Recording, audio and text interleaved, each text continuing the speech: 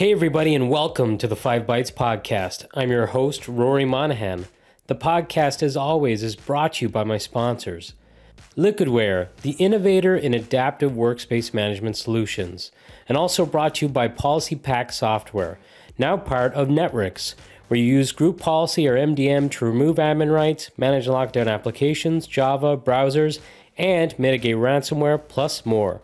And of course, also brought to you by ControlUp, end to end digital experience management for the work from anywhere era.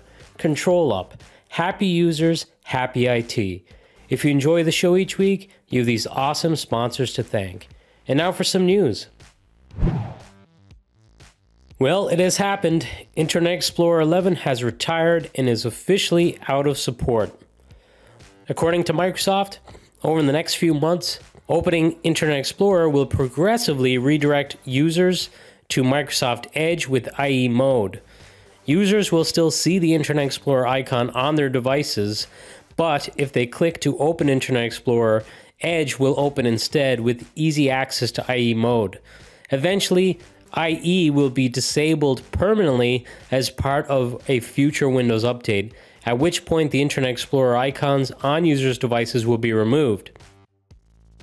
As part of the redirection process, users will have their data like favorites, passwords, and settings imported from IE into Edge to help transition.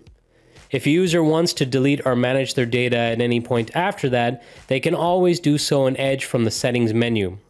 Some websites only work in Internet Explorer, and for these websites, Microsoft encouraged the use of IE mode in Edge, which I believe the findings for most is that IE mode works for the majority of sites that only work in IE today, but there are some outliers that just won't work in IE mode. So I think the app assurance program might be some help if you have sites like that that won't work.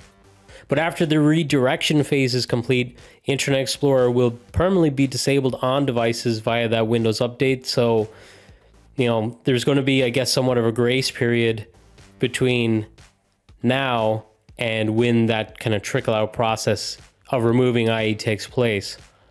They say for certain versions of Windows currently in support and used in critical environments, they will continue to support Internet Explorer on these versions until they go out of support. And that includes all currently in support Windows 10 LTSC releases, including IoT, and all Windows Server versions, as well as the Windows 10 China Government Edition, Windows 8.1, and Windows 11 with extended security updates. Future versions of these editions will not include Internet Explorer. Developers who rely on the underlying MS-HTML platform and COM controls on Windows will also continue to be supported on those Windows platforms. And of course, Microsoft have committed to continuing to support IE mode in Edge through at least 2029. Well, another month and another Patch Tuesday. As is usually the case, the first week the patches are available, there is information available online, and that's what I draw for these stories of Patch Tuesday and the week of Patch Tuesday. But usually, the following couple weeks, there's the fallout stories from issues related to patches. So be sure to keep tuned to this show and keep subscribed because over the next couple weeks, I'll probably tell you some of the fallout. But just information around the Windows updates this month. There are a total of 55 fixes this month for Windows updates, and one of those is for a zero day. Uh, three of the vulnerabilities were deemed critical, and the rest were important. This includes 12 elevation of privilege vulnerabilities, one security feature bypass vulnerability, 27 remote code execution vulnerabilities, 11 information disclosure vulnerabilities, 3 denial of service vulnerabilities, and 1 spoofing vulnerability. So while Microsoft were slow to call Follina a zero day, Follina being a vulnerability that I talked about pretty extensively in the last couple of episodes of the podcast, well, it appears that the one zero day being addressed this month is that Follina vulnerability. The register reports that in addition to mitigating Follina, Microsoft plugged three critical remote code execution flaws and said none of them have been actively exploited yet. The most severe of the three is CVE 2022 30136, which received a 9.8 out of 10 on the severity score. This affects the Windows Network File System or NFS, and Microsoft noted exploitation is more likely for this bug and said that it can occur if a miscreant who is already on the network makes an unauthenticated, specially crafted call to an NFS service to execute remote code. Another one of the critical remote code execution vulnerabilities is dash 22 dash 2022 dash 30163 and this is in the Hyper-V hypervisor. That received an 8.5 out of 10, and it's a fairly complex attack to pull off, according to the report. But if exploited, it could be used to move from a guest virtual machine to the host, where you could potentially administer a lot of damage. And the third RCE that's being highlighted in this report by the register is dash 2022 30139 and that's in Lightweight Directory Access Protocol or LDAP. So, as usual, Windows updates are covering a pretty wide spectrum of Microsoft products. Another vulnerability worth highlighting is CVE 2022 30147, and that's a Windows installer elevation of privilege vulnerability, and that gets a 7.8 out of 10. The register notes that this kind of vulnerability is almost always seen during a cyber attack, and Microsoft to their part, mark this bug as likely to be exploited. And before I move away from some of the Windows updates and the vulnerabilities patched this month, I also wanted to talk about CVE 2022 30189, which is that one spoofing vulnerability that I alluded to a little bit earlier. And this one's interesting because it's in the Windows Autopilot feature and specifically within the enrollment. It's said that with this, an attacker could use a Microsoft account device ticket playback from one device to another and allows a second non-authorized device to perform an Azure Active Directory join and to replace the original device. So that one sounds pretty serious. As always, some of the other vendors have also released patches at the same time, including Adobe, Intel, SAP, and more. And I'll share a link to articles covering a lot of those with this episode, which is episode 234, and you'll find that at 5bytespodcast.com under reference links. And just right before I leave the story, at the time of this recording, the Intel patches are drawing some attention in the community as they've covered a pretty major vulnerability codenamed Hertzbleed that they have been accused of sitting on since the third quarter of last year. If that one blows up into a bigger story, expect me to cover it next week. It's kind of a breaking story at the time that I scripted this episode.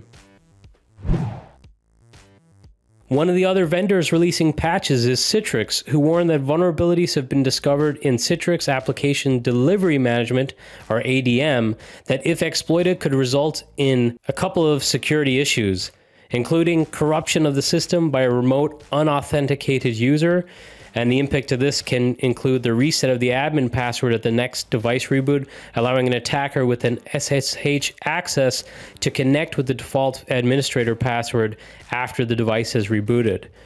And also, temporary disruption of the ADM license service. The impact of this includes preventing new licenses from being issued or renewed by Citrix ADM.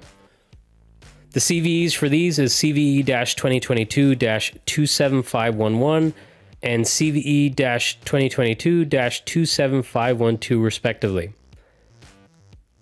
All supported versions of ADM Server and ADM Agent are affected by this vulnerability.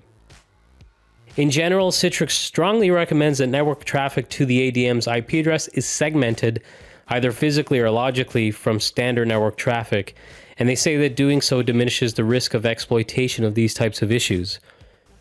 Citrix recommends that affected customers install relevant updated versions of the ADM server and ADM agent as soon as possible with Citrix ADM 13.1 21.53 and later versions of 13.1 and version 13.0 85.19 and later versions of 13.0.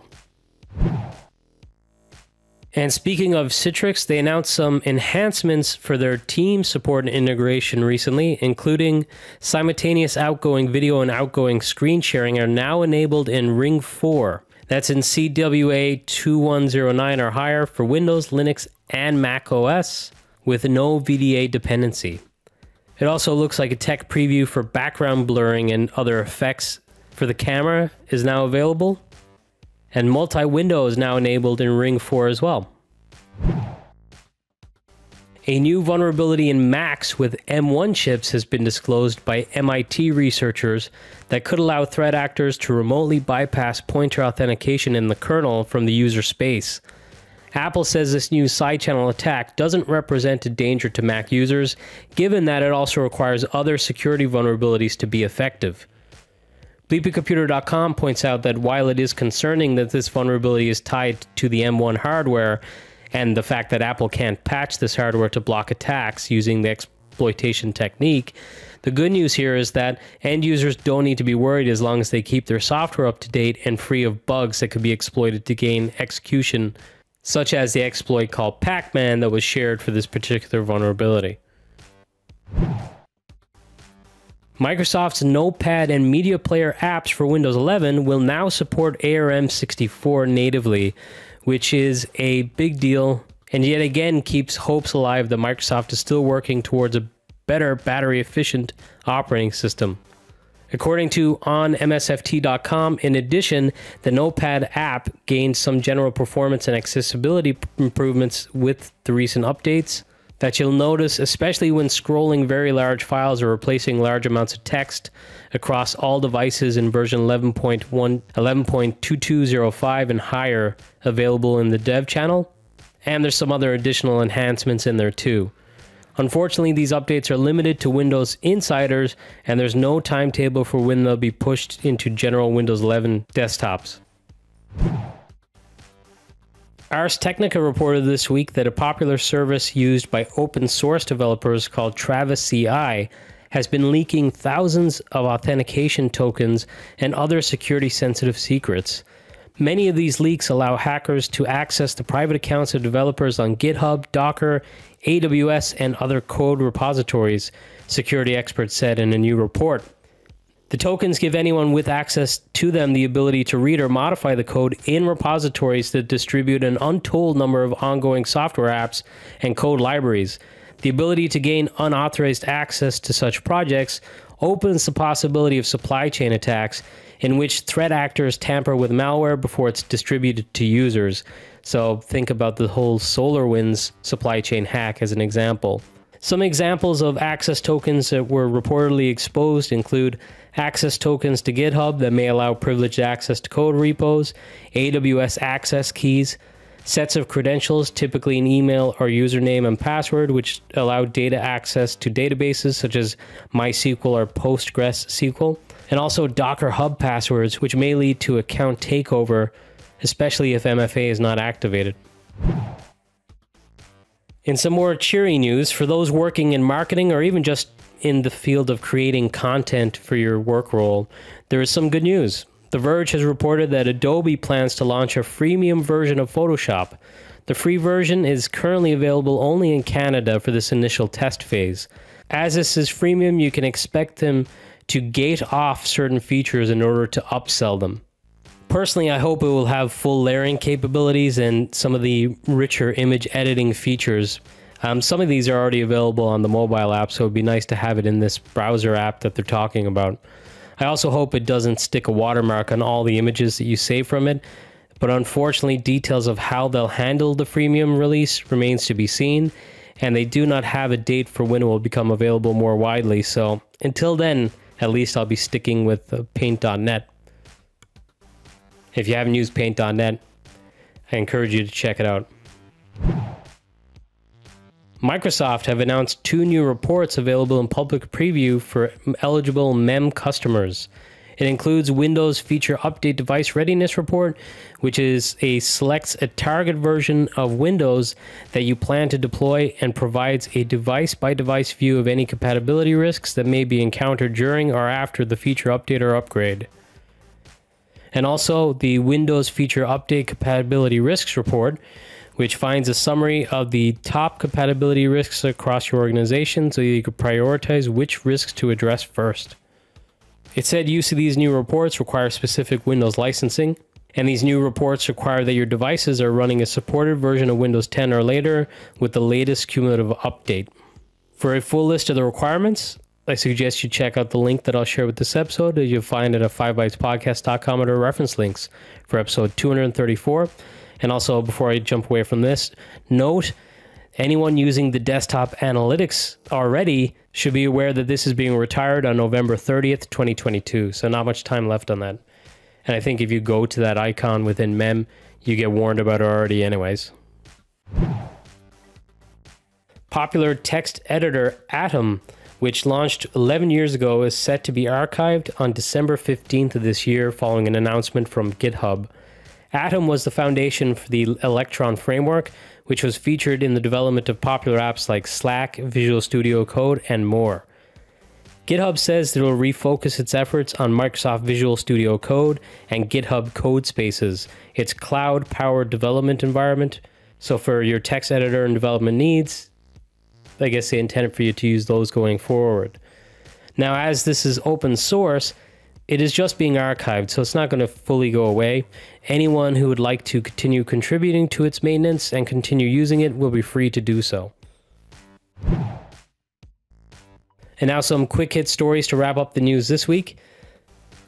But Michael Bazarski shared that it's now possible to browse Microsoft's public Docker images in the Microsoft Artifact Registry. And this adds to the existing ability to be able to find the Microsoft public Docker images on the actual official Docker hub. So I guess a second place to be able to find those images. Bloomberg reported this week that Citigroup is expected to hire 4,000 technical staff to tap into what it's called a digital explosion off the back of the pandemic changing how we work with technology. They want to digitize and modernize how they do business with both clients and their workers. They believe an aggressive strategy in terms of technology will pay dividends. So that's interesting because We've heard about the advent of things like digital experience, investment into technology, uh, more focus on end user computing than ever before in terms of driving productivity and just like listening to your employees in terms of their digital needs. But at the same time, we've also been hearing some doom and gloom about tech companies having layoffs and uh, an impending recession, which it looks like there's going to be a global recession. But I guess it's a bit of a conundrum there because as we're hitting this recession, there's also this market where companies are looking to employ people and they're having a hard time doing so. So they're trying to focus more on their needs, like that experience, which again drives a need for technical expertise. So it'll be interesting to see how this plays out in the long term. But perhaps Citigroup is just an indication of what other organizations are going to do, which is invest heavily in technology applications have opened for the second half of 2022 vExpert 2022 program. So if you'd like to become a vExpert, the second half applications are now open, so apply. Just a quick reminder that the Cloud Paging User Group online meetup is going to be held on the 17th of June, so that should be pretty soon if you're listening to this early on when I release it. And that'll be at 2:30 p.m. Irish summertime, British summertime, 3:30 p.m. Central European summertime, and that's about 9:30 a.m. Eastern Daylight Savings Time. And I think we're going to be covering the topics of uh, how to handle upgrading the agent or the cloud paging player. We'll also go through examples of handling complex packaging of applications, and I hope we have a general discussion amongst the group about all things application delivery. So if you'd like to join, I'll share the link to that. Just register, save the calendar item, and then you'll be directed to the meetup to grab the Teams link when it's time. And now this episode's scripts, tricks, and tips.